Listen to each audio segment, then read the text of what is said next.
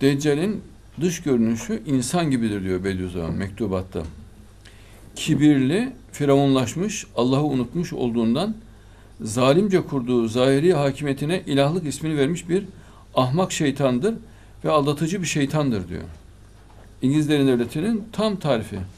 Bak kibirli, enaniyetli, firavunlaşmış, Allah'ı unutmuş. Çünkü Darwinizme, materyalizme inanıyorlar.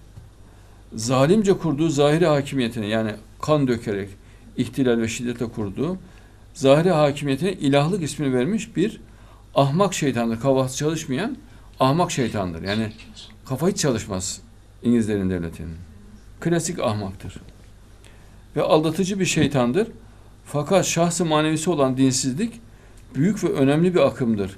Rivayetlerde Deccal'e ait dehşetli vasıflar ona işaret eder.